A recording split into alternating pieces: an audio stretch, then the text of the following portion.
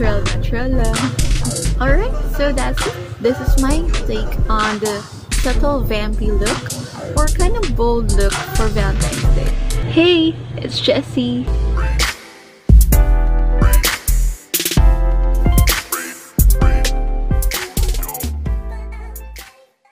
Hello, Meowsers and G-Squad. For today, we're gonna do the hashtag 143 challenge. Yung SM Advantage card, nag-post sila ng hashtag 143 challenge kung saan ang challenge is tatlong makeup lang ang gagamitin mo to create a particular look. So, yung gagawin ko ngayon is inspired by ni Miss Tony Sia. So, yung look will be subtle vampy look or bold look for Valentine's Day. So, I'll be using this uh, three. So, this one, BB Cream UV Sunblock by uh, 3W Clinic. Tapos from L'Oreal, the Infallible Pro Contour. Yan. Uh, for the lipstick, also from L'Oreal. Shade niya. So, syempre, always start with the clean base. So, I actually prefer using just my fingers. Lalo na pag nagmamadali ka, di ba? May nabasa ako. And it makes sense na when you use your fingers, mas na-warm up na yung foundation or BB cream or whatever that is you're gonna put on your face. So, parang mas magiging more natural yung look niya. Although, for the coverage, syempre, it won't give the same coverage na mabibigay ng brush, beauty blender. So, of course, have your hands washed. Uh, always apply makeup. If kung gagamitin fingers mo, always make sure na nahugasan mo. Make sure it's clean. Medyo dry yung face ko ngayon kasi I'm currently trying yung Brilliant Skin Juve, yung tomato. Okay. Mm, I might uh, make a review about it, kung ano nangyari. Pero mga 19-20 days ko pa lang siya nagagamit. So, we'll see. I it's good.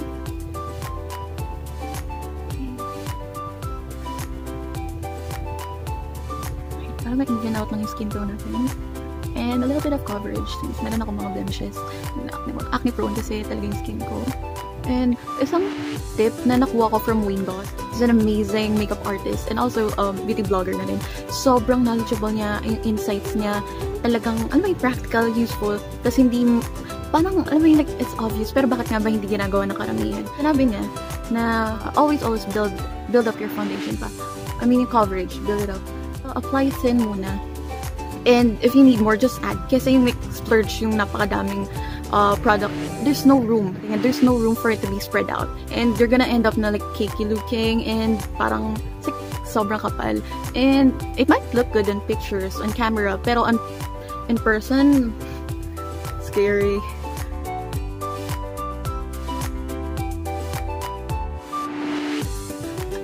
Ito mahirap eh. I talk too much. So, feeling ko, hindi ko na spread na maayos. Or na-spread naman na sa Well, you see, meron pa rin dyan little bit of blemishes. And, ayoko lang pag nagda-dry skin ako yung mga dry patches. Let's add some more. So, pag kulang, just add. Kasi marami, syempre, waste of product na rin yun. Waste of so, so, so good product. Kasi, build na lang build. I won't take too much of your time. Mas control mo kapag konti lang. So, again, uh, we're just gonna go with a look using just uh, three products. And supposedly, dapat magiging Valentine's ready ka na.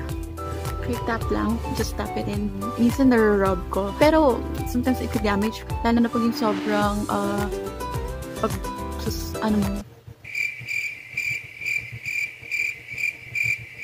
sobrang, yung sobrang pull sa skin kapag na-rub mo. Sobrang, sobrang pag-rub. Yan.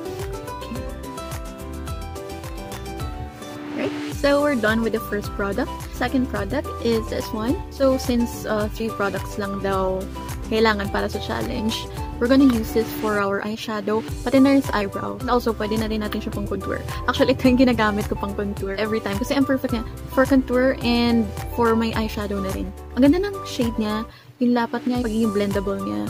I don't know, it's just perfect. My holy grail. Uh, ang ginagawa ko lang, naghahalo ko to. Dapat pang highlight talaga siya dapat. And then ito, yung pang contour.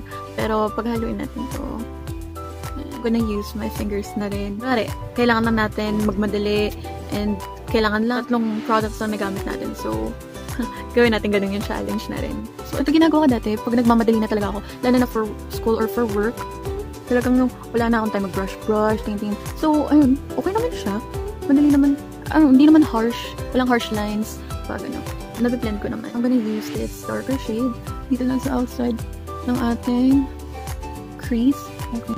So, hindi talaga ako marunong mag-eyeshadow. Pero I just try what what works for me. And, okay, this works for me. Create more shadow. Take note, um, light lang yung pag-apply ko dito kasi may gagawin pa tayo after. Let's take the lighter shade. And let's use this one. Dito lang, sa labas. And then, sometimes, uh, gagano ko na siya. Mamadali na ako. Madalas kasi talaga ako late. So, pero syempre, non-negotiable mag, mag-powder, mag-ice ng konti. Medyo hindi kasi pantay din yung color ko. So, minsan brownish dito. At least ito na evening skin tone. It defines your assets. Yes, assets. Very, very light lang. Okay. Mm -hmm. Para sa eyebrows, uh, ito muna magagamit kong brush. Kasi nawawala yung talagang ginagamit ko for, for eyebrows. Pero pwede na rin naman to. So, we're gonna make use of what we have. Take yung darker shade. Just puff it in para sa mga sobrang product siguro good thing na rin na may korte na talaga yung kilay ko. So, parang just have to defi define it a little. Fill in sparse brows. And parang medyo patapangan na natin ng konti. And may puyo ako sa kilay. So, sometimes it's hard. And hindi kumakapit minsan. Most products na gamitin ko, hindi kumakapit din sa may puyo. Sometimes I have to extend it a little bit here, pero mawawala din siya. Konting pawis. Not unless kapag super long lasting na ginagamit mong pang eyebrows. And there, doon pa rin. Lalo na sa tulad ko may puyo. Yun lang. Okay. See, ang hirap na may puyo sa kilay. Pero okay na rin. I mean, cute, diba? Medyo unique. Muna sa arc ng aking brows. Alam ko meron mga may hiling sa kilay on fleek. So, apparently, hindi man on fleek. Pero, para lang hindi siya parang kind of fading na parang asan yung eyebrows mo, asan kilay mo. Medyo nagkaroon siya ng, ano yun, nag-darken, nag-kita siya. Lalo pag sa mga pictures, ganyan. Not a beauty guru or um, expert in makeups. Just a disclaimer. So, sinishare ko lang naman to since, yun nga, may hashtag 143 challenge ang SM Advantage card. So, might as well share what I, uh, what I did from, for my entry dun sa contest. Alright, so moving on. Still using this one. It's contour. So, I'm gonna get this one. Puff it in. So, sobrang subtle lang. Okay, so as you can see guys, may mga blemishes pa rin. I chose to use this BB cream kasi hindi, hindi siya full coverage but it gives a natural look. Kasi for me, mas gusto ko pa rin yung as natural as possible even with your blemishes. Ba, unless pupunta ka sa occasion na kailangan pack na pack, full coverage ka. With that, I could recommend yung Maybelline uh, Super Stay Matte. Ah, tama ba? Super Stay Matte, full coverage. Talagang full coverage siya. So, yun, lumalaban. Pero for this one, light light coverage lang tayo. Hindi, hindi rin pakak na contour. Subtle lang, parang as natural as possible. Kung gusto mo lang naman na parang natural ka para sa Valentine's date mo, ganyan. Since we're going for a subtle, vampy look, based nga dun sa challenge ni Miss Tony Sia.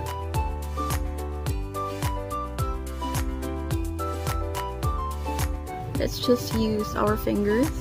So, ito, pinky fingers, para contour na rin tayo dito ang ginagawa ko rin to, kapag madali ako for school or for work, ganyan. Kasi, nari kahit nasa, let's say, taxi lang ako, ganun. If kailangan mag-taxi, dahil nga nalilate na, yes, wala na akong, I mean, alam mo, dala ko brush-brush, ganyan. So, kamay-kamay lang. And then, syempre, alcohol. Make sure, malinis ng kamay bago ako, of course, magbayad sa driver, ganyan. Or syempre lang naman nasa jeep ka, diba? Tapos, pak, pak, pak, kung makeup ka din. Diba dito?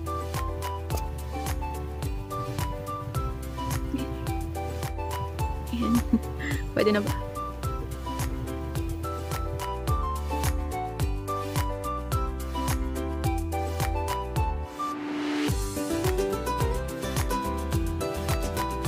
So, I like it kasi mas controlled mo rin yung application, of course.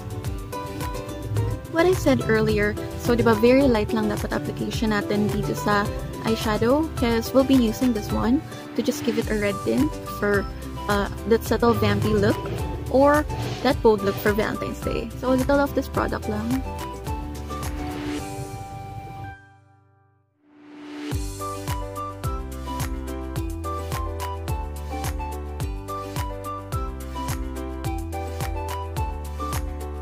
Okay, dagdagan pa natin yung pa-drunk blush natin.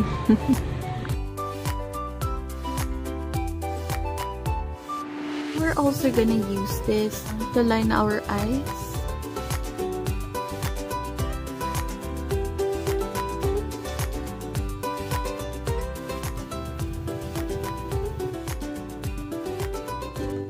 So there you have it. So this is my take on the subtle vampy look or the bold look for Valentine's Day.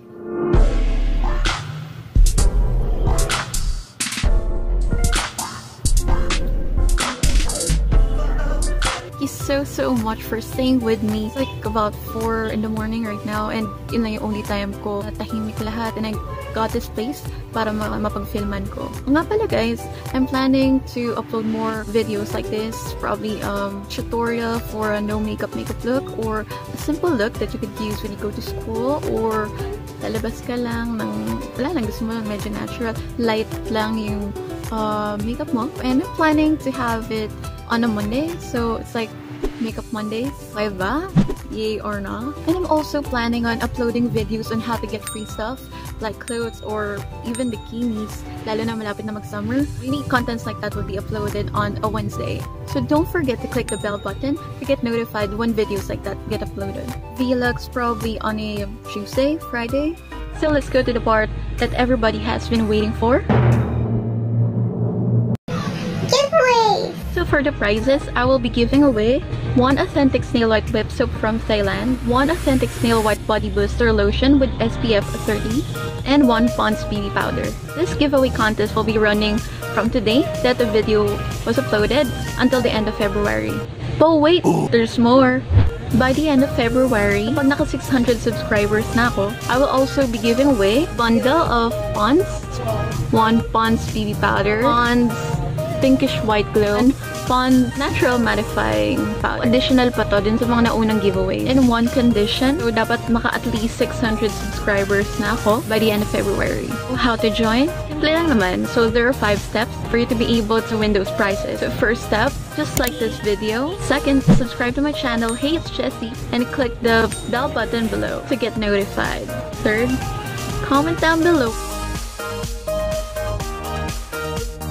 Fourth step, just share this video on Facebook with the hashtag HatesJessieGiveaway. Fifth and last step, just like Fetty Shop by Mariah on Facebook. I'll be putting the links down below. Just a disclaimer, I am in no way sponsored by SM or SM Advantage. Well, I wish, pero hindi. So I'm just sharing what I did para sa entry ko dun sa hashtag 143 challenge nila. Thanks for watching. Bye-bye.